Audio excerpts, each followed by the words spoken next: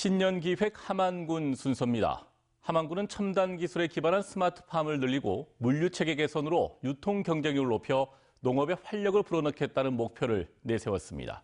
김태석 기자입니다. 이곤동 씨는 4년 전 부친의 파프리카 농사를 이어받으며 스마트팜에 뛰어들었습니다.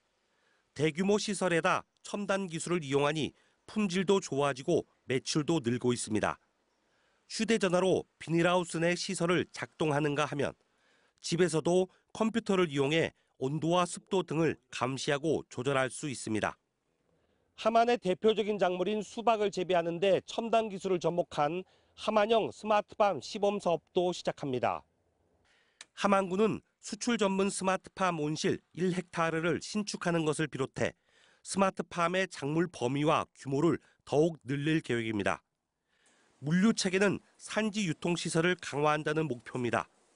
공동 선별로 품질을 규격화하고 직거래 택배비와 에어포켓 제작비를 지원하며 온라인이나 TV 홈쇼핑 등 홍보에도 주력합니다.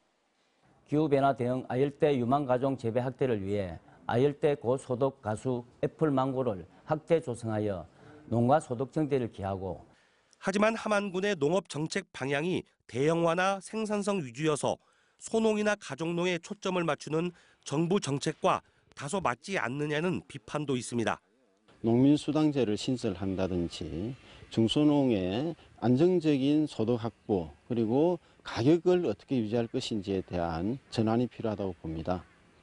또 여성 농민이나 이주 여성을 위한 함안군의 특별한 정책이 없는 점도 아쉬운 대목입니다. MBC 뉴스 김태석입니다.